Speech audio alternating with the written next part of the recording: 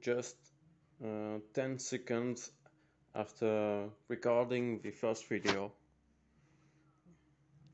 Now the battery is plugged and uh, yeah, that's it.